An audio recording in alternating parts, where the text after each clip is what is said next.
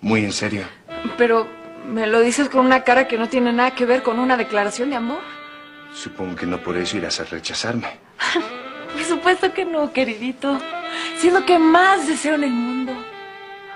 Dame un beso.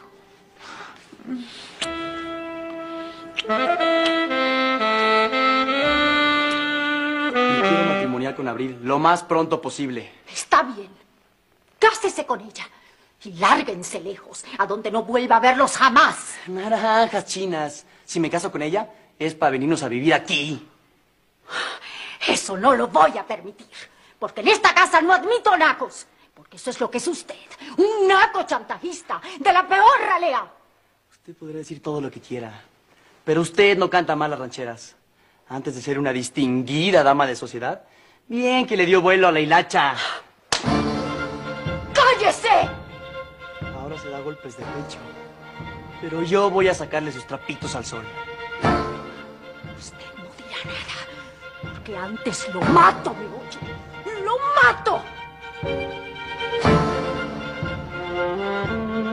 Me siento tan feliz. Ahora sí vamos a estar bien. Seremos un matrimonio como debe ser. Y la niña tendrá un verdadero hogar con un padre y una madre que la querrán muchísimo. Como Rosalinda quiso a su hijita. Nadie es capaz de quererla. Nadie. Mi amor, ¿en qué estás pensando? En nada. En nada en particular. Tendremos que avisar a la familia. Ya lo saben. ¿De veras? ¿Qué te dijo papá? No vi a tu papá. Se lo dije a tío Alfredo y a Soledad. ¿Qué tienen ellos que ver conmigo?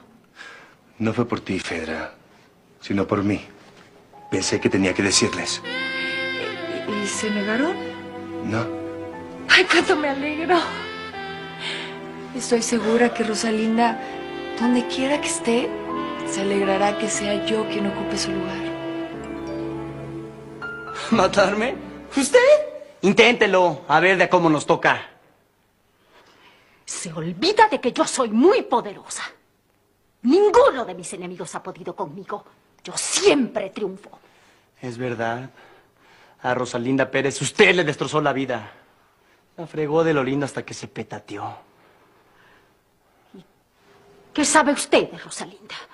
Lo sé todo, porque Rosalinda era mi prima.